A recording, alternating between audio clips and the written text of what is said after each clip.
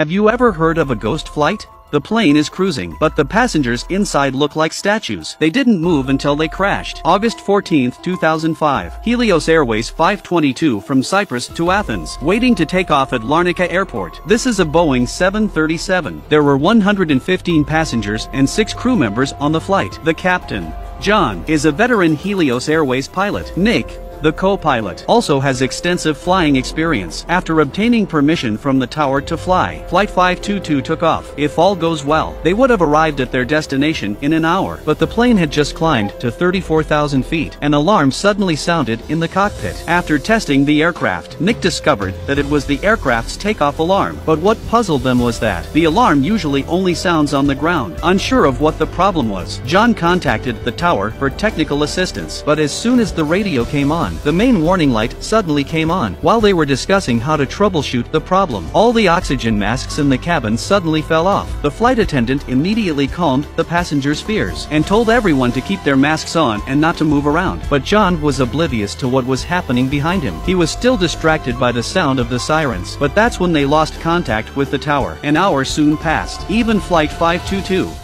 which was scheduled to land at that moment. It was still on its initial flight path. What's even more bizarre is that it kept hovering in the air. It has no intention of landing. Air traffic control tried to call the captain, but never received any response. At this point, there was speculation that the plane might have been hijacked, so the military immediately dispatched warplanes to check it out. But when the pilots saw what was going on in the cabin, they were completely stunned by what they saw. All were seen motionless with their oxygen masks on. The fighter pilot immediately reported this information, and that's when a mysterious man stumbled into the cockpit and steered the plane towards the mountains to the north. But in the blink of an eye, Flight 522 suddenly began to plummet. The fighter pilot kept waving his arms. He managed to get the man's attention, but radio failure prevented direct communication between the two. Eventually, the plane crashed head-on into the ground and burst into flames. Firefighters immediately rushed to the crash site, but all 100 121 people on board were killed. In the aftermath of the accident, the air crash investigation team was the first to arrive at the crash site. The fire had not yet been extinguished. The wreckage of the plane and the remains of the victims were scattered around the scene. The scene was extremely tragic. Fortunately, the black box from the plane was soon found. Technicians immediately carried out research and analysis in the laboratory. It turned out that the plane had not been hijacked. It had run out of fuel and crashed. On the other hand, autopsy reports of the victims indicated that all those on board the plane had died in the crash, which means everyone was still alive until the plane crashed. But why were they all unconscious?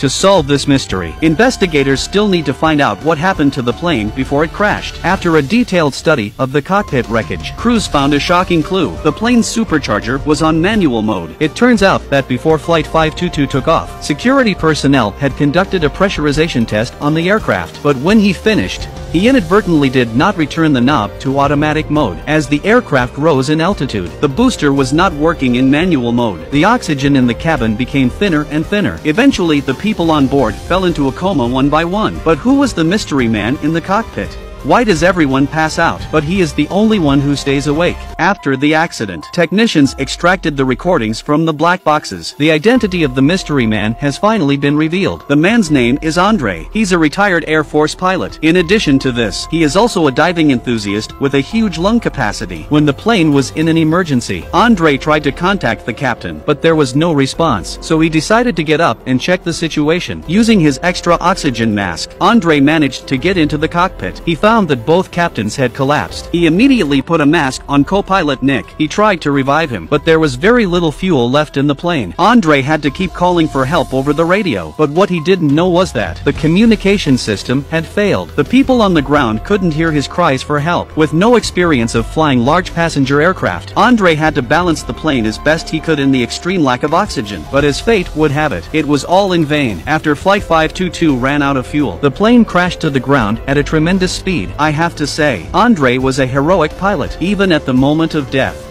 He was still holding on to the controls and trying to fight his fate. It's really admirable. And what's even more sad is that his fiancée was also on board the plane. They were eventually buried together. Air 522 was the worst crash in Greek history. This was a tragic disaster caused by poor maintenance and negligence on the part of the crew. The airline added two additional warning lights to the booster to prevent a recurrence of this type of accident. Air crashes change aviation history. May every flight reach its destination safely. Don't forget to subscribe for more videos like this on Recap Next.